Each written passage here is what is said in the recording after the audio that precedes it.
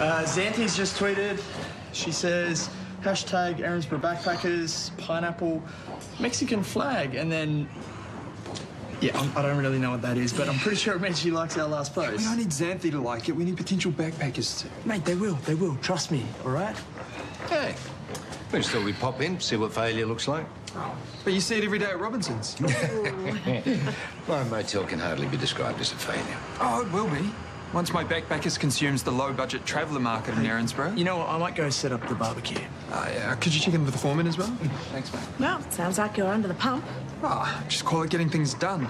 And you're ready for your big launch. Absolutely. In fact, maybe you two should come back for it. You might learn a thing or two. For now, you can get lost. Oh, we'll be here, don't worry. As will many of the people drawn by warning. But I can tell you right now, those fans will not equate to customers. See, publicity stunts don't work. But you're going to find out the hard way. We'll see about that.